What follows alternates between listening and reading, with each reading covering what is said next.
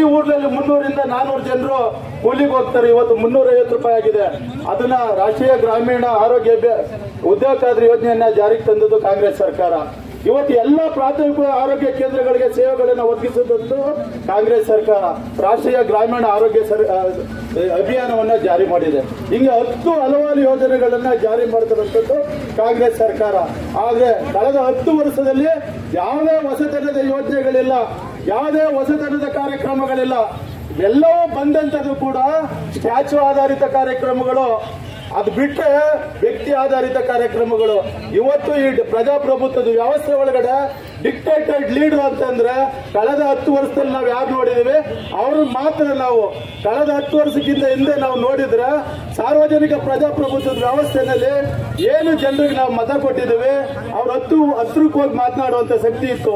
ಆದ್ರೆ ಇವತ್ತು ಹತ್ತು ವರ್ಷದಲ್ಲಿ ನಾವು ಪಾರ್ಲಿಮೆಂಟ್ ಒಳಗಡೆ ಯಾವುದೇ ಸಚಿವರಾಗ್ಲಿ, ಯಾವುದೇ ಎಂಪಿಗಳಾಗ್ಲಿ ಮಾತನಾಡುವಂತ ಶಕ್ತಿಯನ್ನ ಕುಗ್ಗೋಗಿದೆ ಅಂತಂದ್ರೆ ಅದಕ್ಕೆ ಪ್ರಮುಖ ಕಾರಣ ಹತ್ತು ವರ್ಷದ ಆಡಳಿತ.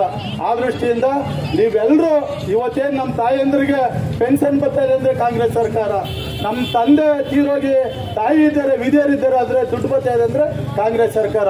ಎಲ್ಲಾ ಯೋಜನೆಗಳನ್ನ ನೋಡಿ ಇವತ್ತು, ಸಾವಿರದ ಒಂಬೈನೂರ ನಲವತ್ತೇಳರಿಂದ ಎಲ್ಲಿವರೆಗೆ ಹೊಸತನದ ಯೋಜನೆಗಳು ಒಂದೂ ಇಲ್ಲ. ಆದ್ರೆ ನಮ್ಮೆಲ್ಲ ಯೋಜನೆಗಳಿಗೂ ಹೆಸರು ಕಿತ್ತಾಕಿ ಅದಕ್ಕೆ ದುಡ್ಡು ಜಾಸ್ತಿ ಮಾಡಿದ್ದಾರೆ, ಸಿಲಿಂಡರ್ ಬೆಲೆ ಜಾಸ್ತಿ ಮಾಡಿದ್ದಾರೆ, ರಾಸಾಯನಿಕ ಗೊಬ್ಬರಗಳ ಬೆಲೆ ಜಾಸ್ತಿ ಮಾಡಿದ್ದಾರೆ. ಹೊರತು ಹೊಸತನದ ಕಾರ್ಯಕ್ರಮನ ಜಾರಿ ಮಾಡಲಿಲ್ಲ. ಆ ದೃಷ್ಟಿಯಿಂದ ನಾವು ಕಾಂಗ್ರೆಸ್ ಪಕ್ಷಕ್ಕೆ ಅಧಿಕೃತವಾಗಿ ನಾವು ಮತ ನೀಡಬೇಕು.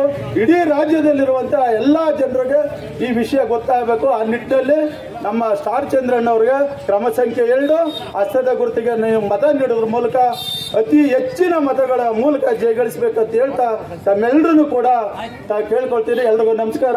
ಕಾಂಗ್ರೆಸ್ ಪಕ್ಷಕ್ಕೆ! ಎಲ್ಲರಿಗೂ ನಮಸ್ಕಾರ.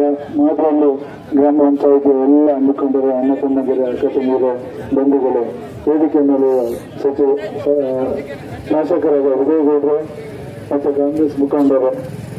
ನಾನು ಇದೇ ಜಿಲ್ಲೆಯನ್ನು ನಾನು ಇದೇ ರೈತರ ಮಗ, ಮಂಡ್ಯ ಜಿಲ್ಲೆಯ ರೈತರ ಮಗ, ನಿಮ್ಮನೆ ಮಗ. ನಮ್ಮ ನಾಯಕರಾದ ಇಬ್ರಾಹಿಂ ಸಾಹೇಬರು, ಕಲಿಗೆ ಸಾಹೇಬರು, ಡಿ ಕೆ ಶಿವಕುಮಾರ್ ಸಾಹೇಬರು ಚೆಲುವಣ್ಣರು ಉದಯಗೌಡರು ಜಿಲ್ಲೆ ಎಲ್ಲ ಶಾಸಕರು ಒಮ್ಮತದಿಂದ ಅಭ್ಯರ್ಥಿಯಾಗಿ ಆಯ್ಕೆ ಮಾಡಿದ್ದಾರೆ. ನಾನು ನನಗೆ ಉದಯಗೌಡರು ಹೆಂಗೆ ಹೆಚ್ಚು ಮತ ಕೊಟ್ಟು ಗೆಲ್ಸಿದ್ರು, ಅದೇ ರೀತಿ ಹೆಚ್ಚು ಮತ ಕೊಟ್ಟು ಗೆಲ್ಸಿ ನಿಮ್ಮ ಸೇವೆ ಮಾಡಕ್ಕೆ ಸದಾ ಸಿದ್ಧನಿರ್ತೀನಿ ಅಂತ ಹೇಳ್ತಾ ಇದೇ ಇಪ್ಪತ್ತಾರನೇ ತಾರೀಕು. ಪ್ರಸ್ತುತ ಗುರುತಿಗೆ ಮತ ಹಾಕಿ ಕ್ರಮ ಸಂಖ್ಯೆ ಎರಡು.